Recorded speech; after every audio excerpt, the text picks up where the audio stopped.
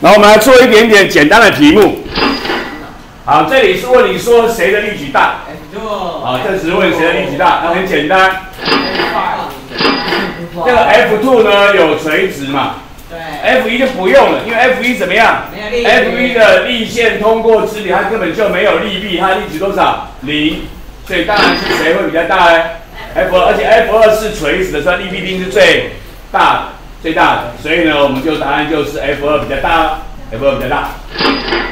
那这个类似题，类似题，几个样的施力？他问的是最小，他问的是最小，谁的力矩最小？他的力谁的力最小？啊？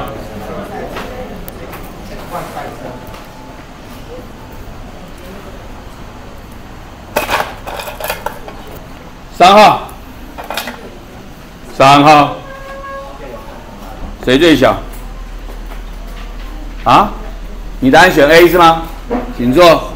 你答案选 A，F 一是最小。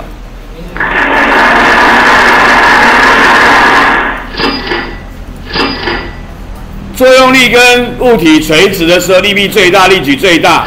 然后如果完全不垂直，我要是平的，它通过之前就没有力臂，力矩是零。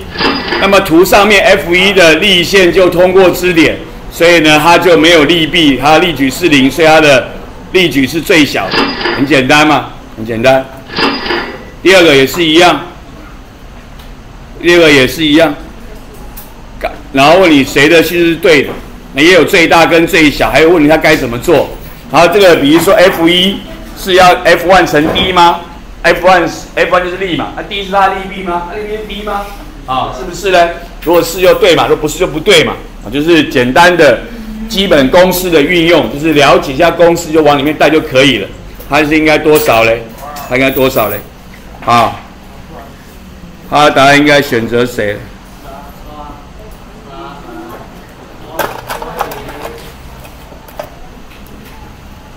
三三。三十三，嗯啊，多少？C，你选 C，你说。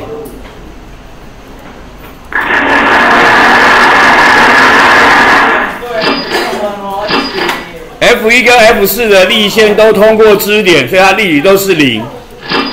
然后呢，F 三跟它是垂直，所以力矩是最大。然后呢，F 二呢没有垂直，所以力矩比较小。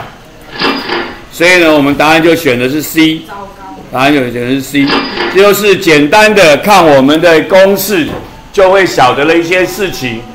力矩就是力臂乘以力，重点力臂跟力之间要互相垂直，要懂得什么叫力臂，支点到力线的垂直距离，就是我们给各位的简单基本练习，很好。接下来我们要做实际的计算，刚才都是一些知道一下利弊，大概比比就出来了。现在要做真的计算，好，就是问我说这个力矩有多少，然后会怎么怎么转？那很简单，就是力矩就是利弊乘以利，找到利弊呢乘以利，那这个又没有什么不平行的时候，就很好做，啊，很简单。力矩就是力臂乘以力，重点是力臂跟力要互相的垂直。啊，这里呢力跟那个二十公分有垂直，所以可以用。所以呢就二十公分乘五十，答案叫以前。要注意，你用的是公斤重，用的是公分，所以单位就是公斤重公分。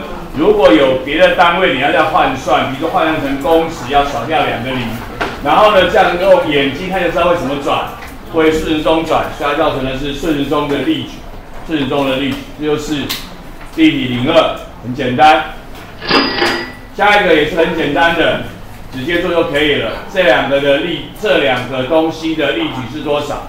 然后呢，它的注意一下，你报给我的时候的单位，它这边用的是公尺跟公斤重，公尺跟公斤重。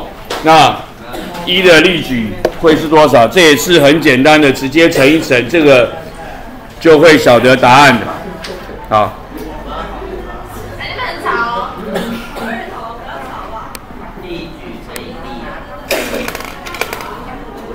七号。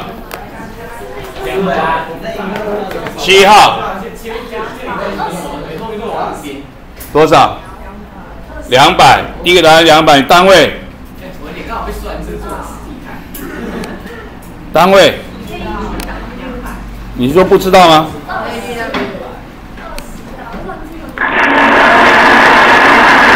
二十，应该就是零点二乘一百，答案变二十，单位就是公斤重公尺。那二的力矩多少？那二的力矩是多少？二的力矩是多少？二十八，二八，二的力矩多少？十单位。公斤重什么？接零点一乘一百就好，答案是。这个这个是最简单的做法，就是利弊跟利都不用处理，就直接乘就好了。但是呢，也有些是要处理的。这个就是要处理的。这个施力没有跟它垂直。我讲过，你有两招。第一招。把力分解成垂直分力跟水平分力，要的是垂直分力。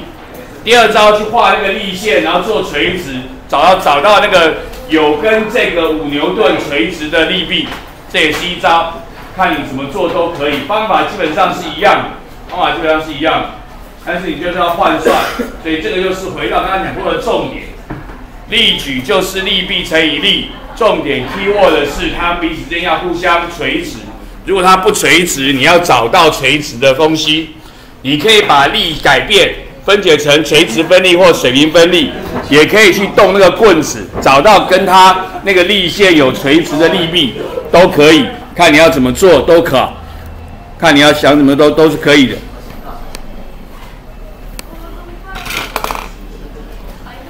哦。哎，不是女生吗？二十岁。答案。哎，B 好。B，请坐。你答案选 B。你们所有人都想要害我你答案选 B，答案是。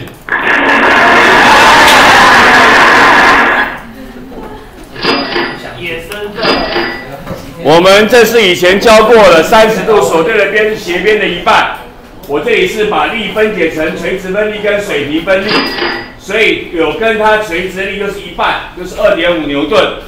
然后呢，力就是那个棍子的长度，就是那个零点六公尺，没有问题，所以往里面乘就好了。力臂乘以力，所以呢，零点六乘以二点五。你也可以做那个力线，然后对过去也是一样，三十度水那边斜边的一半，所以零点六就会变成零点三，然后零点三乘以五，答案也是一点五，答案也是一点五，做法是一样的。这就是我们的练习，我们的练习做那个。真的有去算力矩有多大的？再说一次，key word 的重点是什么？力臂跟力要互相的垂直，不垂直要找到垂直的才可以。这就是我们要提醒你注意的事情。OK。